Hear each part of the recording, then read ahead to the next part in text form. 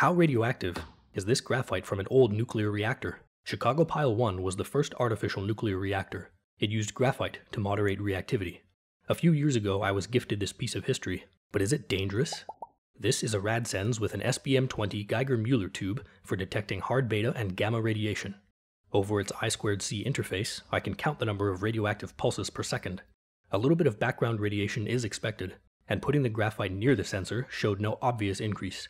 So, I needed to take some long-term measurements and do some basic stats. I breadboarded a quick setup that displays data for the last 20 minutes, total time elapsed, and also sends the raw data to my laptop over serial for later. Without the graphite, I took at least 10 hours of readings in which I recorded pulses per second. Then, I did the same thing again, but with the graphite present.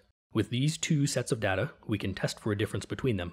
Our null hypothesis is that there is no difference. I wrote a small C program to compare the two conditions, along with a z-score, which indicates statistical significance. The final result showed a very small difference and a z-score of 0.51. This indicates that there is no statistically significant difference, so the graphite is probably safe. Thanks for watching.